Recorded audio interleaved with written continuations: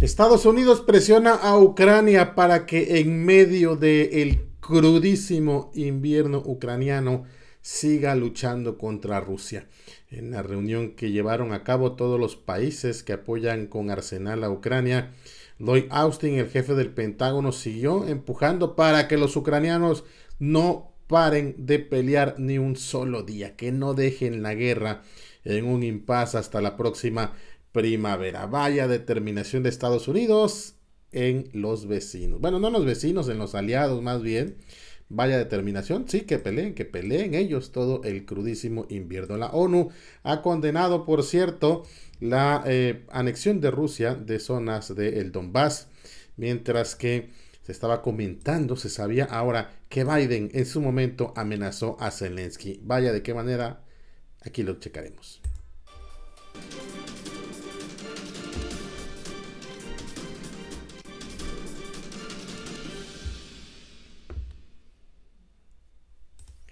Hola amigas y amigos, qué gusto saludarlos en el canal. Muchas gracias que están viendo los videos. Gracias por su apoyo, por el respaldo que siempre nos dan.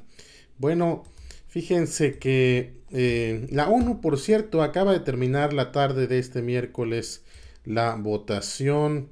Por aquí teníamos, bueno, le doy los detalles.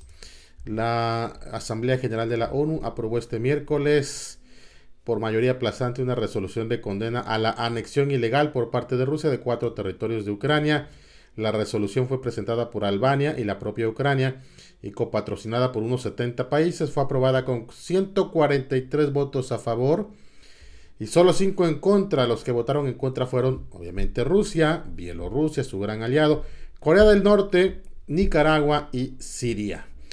Hubo 35 abstenciones, entre ellos China, Bolivia, Argelia, Pakistán, Honduras y Mali. También se declara que los actos ilícitos en referencia a los referéndums en, el, en Donetsk, Gerson, Lugansk y Zaporizhia no tienen validez alguna y tampoco sirven para modificar de ninguna manera el estatuto de esas regiones en Ucrania. También hay que decirlo claramente, la resolución de la ONU no tiene validez alguna. O sea, es simple y sencillamente un acto político, no tiene ninguna vinculación para Rusia, como no la tuvo con Crimea hace ocho años. Entonces, pues hasta ahí queda ese asunto de el mundo condenando, el mundo occidental casi condenando, también hubo aliados africanos asiáticos que condenaron a Rusia por este asunto del Donbass.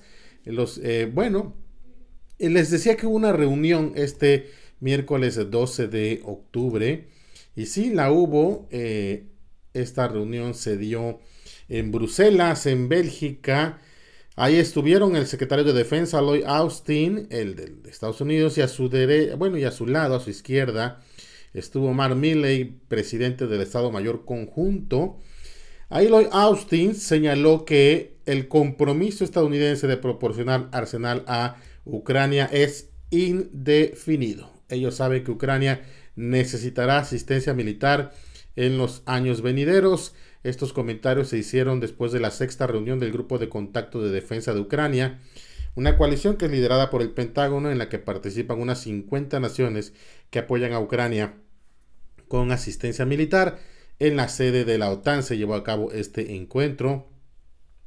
Después, bueno, dos días después de los ataques de lunes y martes con misiles de precisión por parte de Rusia a más de una decena de ciudades ucranianas. Eh, de pie junto al secretario de Defensa, general Mark Milley, presidente del Estado Mayor Conjunto, ofreció una dura condena de esos ataques que según dijo cumplían con los criterios de crímenes de guerra según el derecho internacional. Ahora aquí sí ya vale el derecho internacional. En Irak, en Libia, en Afganistán, en Siria, en todos esos lados donde Estados Unidos y la OTAN masacraron civiles de manera indiscriminada, o sea, hay sí misilazos indiscriminados, ahí no, ahí no, ahí no. Pero ahora sí ya Ahora sí ya, este, eh, sí hay preocupación por ese aspecto. Lloyd Austin dijo el campo de batalla sigue siendo dinámico y el invierno siempre presenta desafíos cuando se trata de pelear. La comunidad internacional permanece unida, enfocada y comprometida a hacer todo lo posible para ayudar a Ucrania a proteger sus intereses y defender su territorio soberano. Y es que nos enteramos que en esa reunión hubo eh, presiones a Ucrania para que siga peleando en el invierno. El invierno en esa zona del mundo es particularmente difícil. Ucrania, lo hemos comentado aquí varias veces, estaba intentando generar la mayor cantidad de avances posibles para recuperar territorios. No fueron tan significativos. Ahora a la luz de un mes de que está la contraofensiva ucraniana, no fueron tan grandes los avances ucranianos y bueno, ya, ya prácticamente está llegando el invierno. Pero bueno, eso parece no importar a los aliados de la OTAN, que dicen que Ucrania va a luchar durante el invierno. Así se, se, decía, se espera que Ucrania luche contra las duras condiciones invernales para tratar de recuperar aún más territorio de Rusia, dijo el miércoles el secretario de Defensa de Estados Unidos, Lloyd Austin.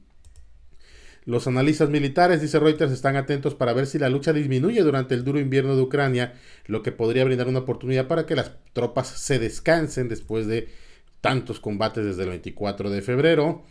Austin, hablando en esta reunión, dijo que esperaba, que Estados Unidos espera que Ucrania haga todo lo posible para seguir adelante después de recuperar el territorio ocupado por las fuerzas rusas en las últimas semanas. Espero que Ucrania continúe haciendo todo lo posible durante el invierno para recuperar su territorio y ser eficaz en el campo de batalla. Y haremos todo lo que sea posible para asegurarnos de que tengan lo necesario para ser efectivos. ¿Cómo ven ustedes? ¿Cómo ven ustedes esta situación? Digo, o sea, en el aliado, en el amigo, en el compañero, pues es fácil, ¿no? O sea, no, lánzate a pelear en el invierno. Total que, pues los estadounidenses y sus tropas estarán en la comodidad, en el calor invernal ahí junto a la chimenea. En los calentadores no van a tener que estar en el frío invierno ucraniano. Entonces, pues, peleen, peleen. un alto funcionario de defensa de Estados Unidos le estaba diciendo a la agencia Reuters que hay una gran cantidad de apoyo, que hubo una gran cantidad de apoyo para ayudar a Ucrania a superar los meses de guerra de invierno, incluida la provisión de ropa de invierno. Es decir, lo que hicieron en la reunión de los de este eh, miércoles ahí en Bruselas, Bélgica, fue, no, sí, les vamos a mandar toda la ropa de invierno y todo lo que necesiten para el invierno. Entonces, pero tanto como que más, bueno, pues digo, cada quien puede hacer planes en los, allá, en los aliados. ¿eh?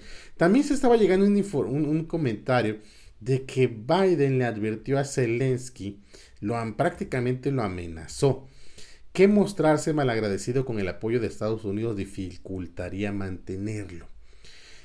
Un exfuncionario de la Casa Blanca reveló al Washington Post que Biden advirtió a Zelensky que le sería difícil solicitar más y más dinero al Congreso para apoyar a, Ucrania si Zelensky se mostraba mal agradecido y reiteraba el discurso de que la ayuda económica no era suficiente.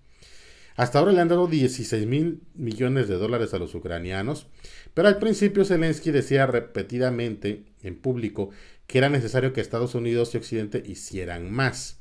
El diario estadounidense aseveró que Biden ha empleado horas de conversación para lograr apoyo a Ucrania, que es la realidad de las cosas.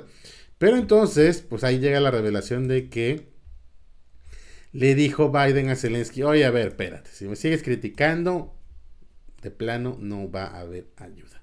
Así que pues Zelensky entendió la amenaza y dijo, bueno, pues está bien, me quedo calladito. Miren ustedes. Gracias por estar en este canal, por ver estos videos.